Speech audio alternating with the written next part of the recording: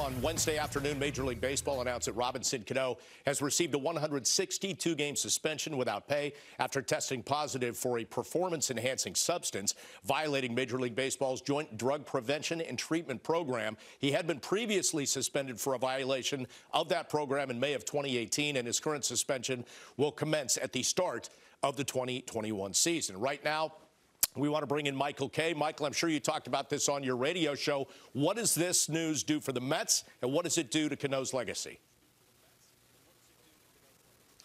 I think it destroys Cano's legacy. It just doesn't make sense because what he tested positive for was stanozolol, which is what poor kids take.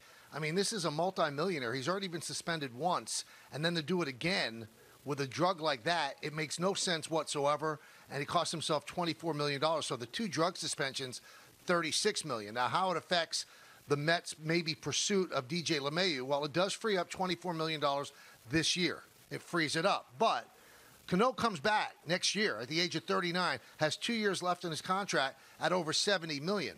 So it just frees it up this year. I don't think necessarily that means that the Mets are going to go after uh, DJ LeMahieu any harder. If they had him in their plans, they were going to go after him. Maybe this allows them to go after a couple of pitchers or bullpen guys. And they also have the option of moving Jeff McNeil over to second, which a lot of people think might be his best position. But for Cano, it's it's a mind bending, head scratching move. I don't understand why you do it. I guess people just don't want to be ordinary because he's already got the money in the bank. And by doing something like this, you, are costing yourself the money. There's no more money to be made. At the end of the contract, you're going to be in your 40s. So he just couldn't play, maybe, in his mind without taking this stuff. It's, it's a sad story and also amplifies that many years back, the Yankees made a good decision keeping their offer at seven. And when it went to 10, they said, all right, go to Seattle. Um, I don't think that they could have foresaw this. But bottom line is the seventh year was last year.